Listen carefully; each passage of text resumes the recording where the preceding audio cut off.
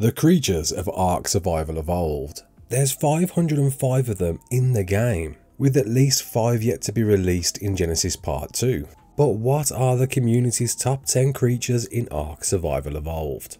You're right kids, it's Raasclark, and the following is a top 10 voted for by you.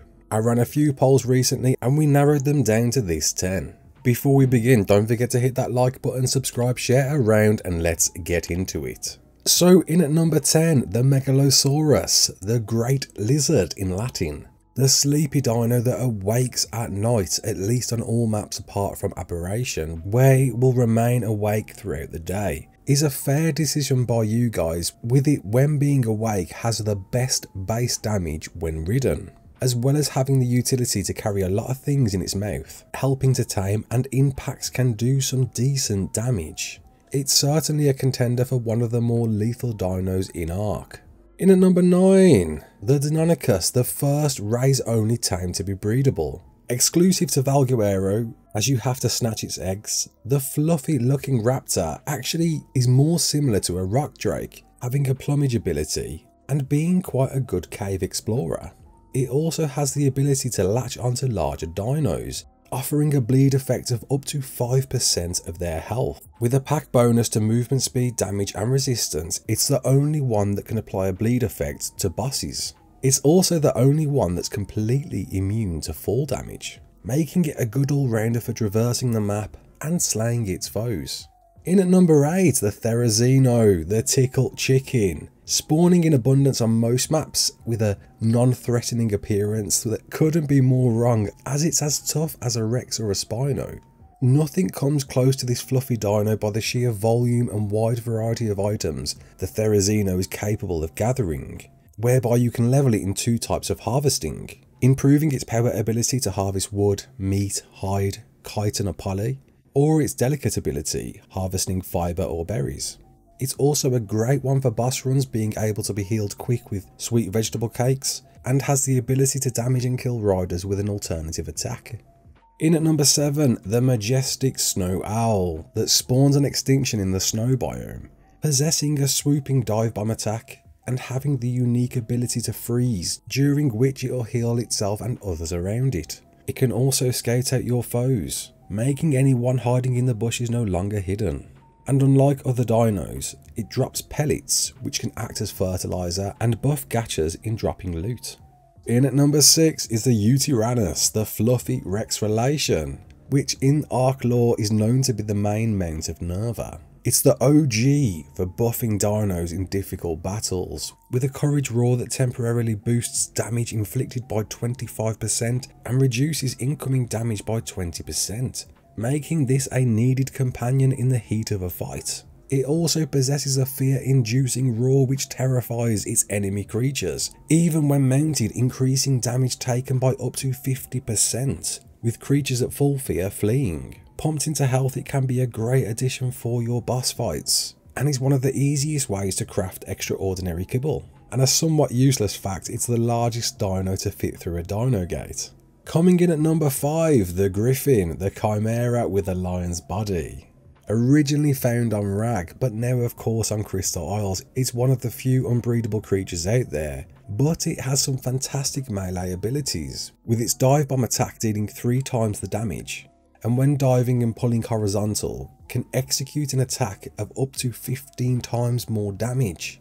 It's a multitasker for carrying people away quickly and being able to carry two riders, both that can use their weapons whilst flying, making it an aerial firing platform and an ease for taming from safety, for example chasing a Quetzal. It's also a great creature for getting in and out of wyvern nests and stealing those eggs as quick as you can. In at number 4, the Thylacoleo, the marsupial lion. Found in most redwoods on trees, it's the only creature to prefer cooked meat over raw. With the base health of a Spino and the damage of a Carno plus a powerful bleed effect of up to 5%, the Thyla isn't one to be messed with, being able to climb vertical surfaces and having a pounce attack immobilizing its enemies. It's also a good choice for ground travel and running those artifact caves. In at number 3, the Argentavis, the jack of all trades. Found on most maps, it's the early metal farming companion, with weight reductions helping to move heavy goods. It's got great health and high damage output, whereby it can recover that health and stam with each kill, and a swarm of them is not one to be messed with. It can pick up a variety of creatures for ease of taming, and using a Dode or an Anki for farming, and kill whatever is in its clasp. It's also equipped with its own smithy, being better than the structure due to having more inventory space, and the RG is able to carry two dinos at once.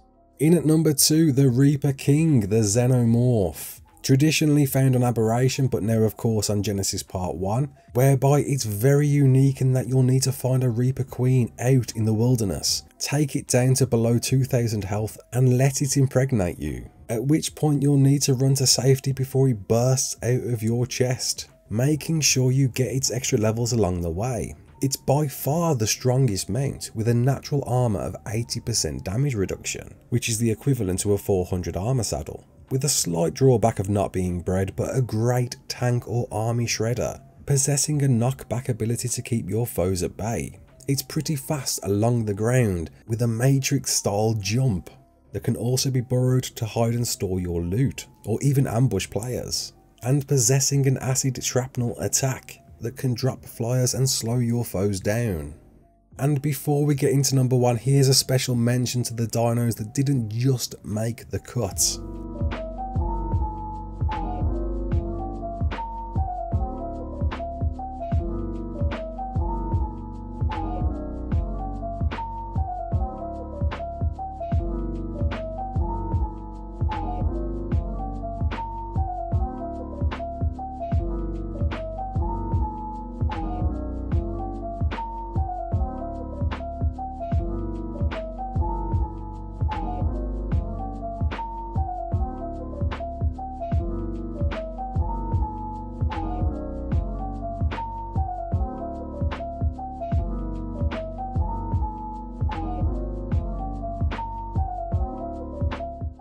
Which leaves the most voted creature in Ark. Number 1, the Rock Drake. Straight out of Star Wars, the distant relative to the Wyvern, can currently only be found on Aberration, where you'll steal its eggs from the Drake nest. It's the all-terrain transport, being able to glide, climb and swim. In fact, it's faster in the water, being able to launch out of the water into a glide. Possessing a cloak ability, it's great for caves with nothing attacking it and an unparalleled mobility on land and in the air thanks to its ability to glide. Coupled with good combat prowess, the Rock Drake makes an excellent jack of all trades, especially in Genesis Part 1. It's also got a good weight for farming, it's going to be your go-to dino for surface runs, whilst also helping to seek out reapers, and it's one of the few dinos that possesses a tech saddle, being able to shoot elements at anything in its path. And there we go, that wraps up the list. Do you agree with this? I can certainly agree that every one of these creatures on this list are definitely useful. And I hope this helps someone out there being voted by the community. And if you don't agree, hit that subscribe button as we'll be doing a poll in the near future on the next top 10 list.